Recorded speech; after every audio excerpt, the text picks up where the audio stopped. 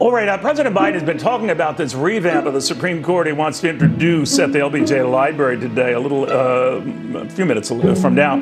He's saying we are going to figure out a way to get this done. Um, uh, among his remarks is apparently saying what is happening now is not normal and it undermines the public's confidence in the court's decisions, including those impacting personal freedoms. We now stand at a breach uh, Louisiana Republican Senator John Kennedy on what he makes of all of this. Senator, good to have you. What do you think? Thank you.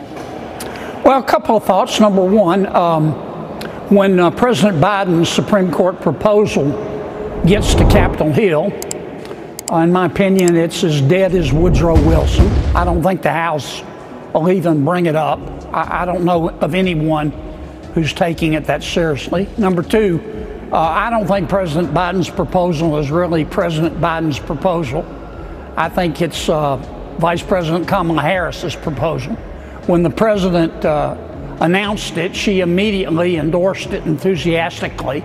I think she's asked him to take the lead so, in case there's blowback, it doesn't get on her.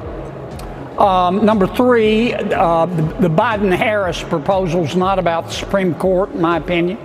It's about abortion particularly uh, Vice President Harris, is very angry at the Supreme Court for saying abortion's not in the Constitution and sending the issue back to the people in the states.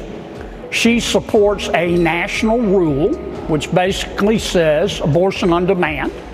A woman can have an abortion at any point, even up until the moment before birth. Uh, the vice president, I think most Americans see abortion as trying the issue of abortion is trying to balance the rights of a woman and an unborn child. I think the vice president sees it sees uh, or thinks that the unborn baby has no rights, none whatsoever. She's entitled to her opinion, but I don't think that's mainstream.